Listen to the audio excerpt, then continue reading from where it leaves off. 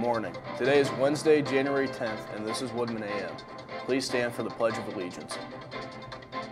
I pledge allegiance to the flag of the United States of America, to the republic for which it stands, one nation, under God, indivisible, with liberty and justice for all. Now please remain standing for a moment of silence. Please be seated. Here are today's announcements. The music department will host auditions for this year's Greenwood's Got Talent show on January 18th. Please sign up for an audition time by next Tuesday using the sheet by door 32E. A talent show act can involve a wide range of performances.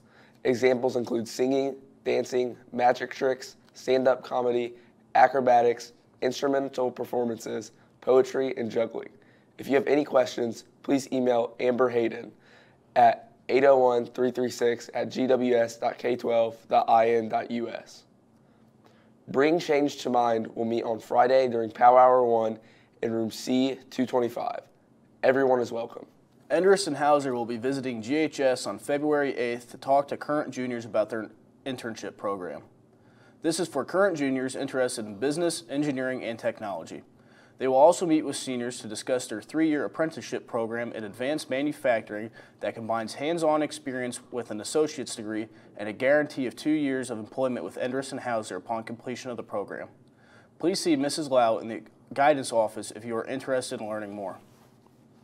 The Fine Arts Academic Team will meet Friday during Power Hour 2 in Mrs. Williams' room.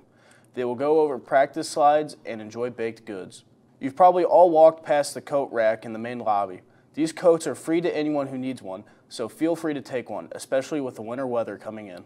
If you're interested in playing boys golf, attend the call-out meeting tomorrow at 3:15 p.m. in the cafeteria. Any boy interested in playing golf this spring should attend. Yesterday's parent newsletter, emailed to all parents and guardians with info in PowerSchool, sparked a tone of yearbook orders. The yearbook staff is getting very close to sold out status. Go to www.jostensyearbooks.com to order or pick up an order form in the front office. So what are you looking for over here? Something that has all my high school memories in it that I can go back and look on later in life. You know what? I think I know what you're looking for. I'll be right back. Sweet. Here it is, our own high school yearbook. What's in this thing? Are you kidding me? Let's take a closer look.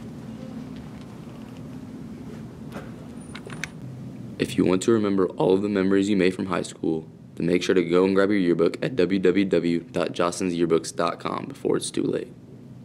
That concludes today's announcements. I'm Gabe. And I'm Mason. Have a great day.